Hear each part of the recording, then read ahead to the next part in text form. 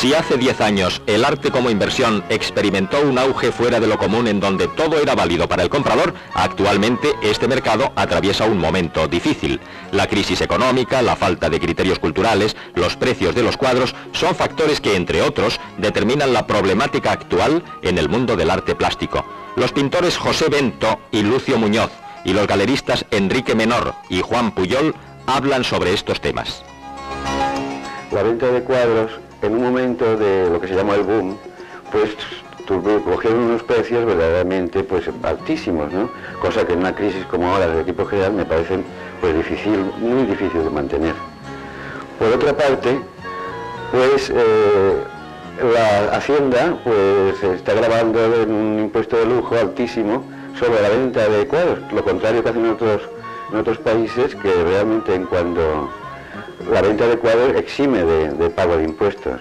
Yo creo que una de las cosas que más inciden en el aspecto material es eh, el miedo que se ha metido al coleccionista con el famoso impuesto sobre el patrimonio, que cree que al comprar una obra de arte va a tener que estar toda la vida pagando impuestos.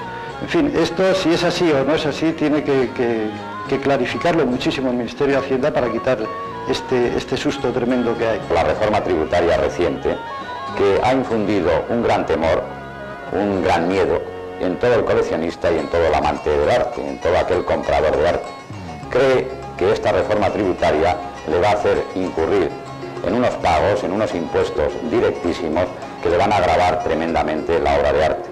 Creo que esto está basado fundamentalmente en la gran desinformación que por parte de la Administración ha hecho hacia el comprador de arte.